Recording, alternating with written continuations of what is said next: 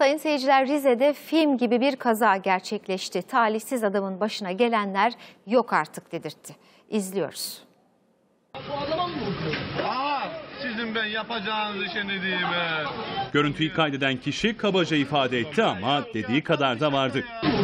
Aa, sizin ben yapacağınız işe ne diyeyim he? Motosiklet çarpmasıyla yaralanan adam bir de kafa üstü sedyeden düşürüldü ve her şeye rağmen hayatta kalmayı başardı. Talihsiz adam yolda yürürken önce motosiklet çarpmasıyla yere yuvarlanmış, başını kaldırıma çarparak yaralanmıştı.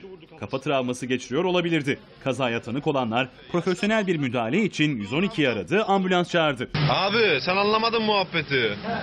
Motor, abi motorcu motorla giderken yoldan geçen adama çarptı. Tabii yaşlı adama çarptı, attı vurdu onu abi tam kaldırıma kafası vurdu ya. Ama iyidir iyi.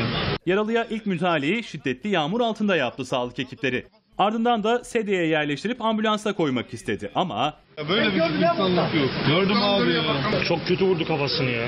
tam da görüntüyü çekenlerin söylediği gibi şaka gibi. Sedyenin ayakları bir anda kapandı, başından yaralı adam bir kez daha başının üzerine düştü.